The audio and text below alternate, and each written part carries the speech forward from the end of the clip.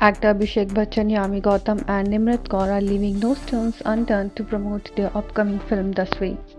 The makers of the film hosted the special screening of the film on Monday. Abhishek, Yami, and Nimrat marked their presence at the screening. Abhishek was seen dressed in black outfit, Yami and Nimrat dazzled in cute outfits. After the screening, as Abhishek was going towards his car, he greeted Paps with folded hands. Paparazzi requested him to pose for the pictures and videos.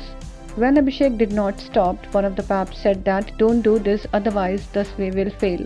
The statement of the Pap irked Abhishek and he said, Is it right to use a statement like this?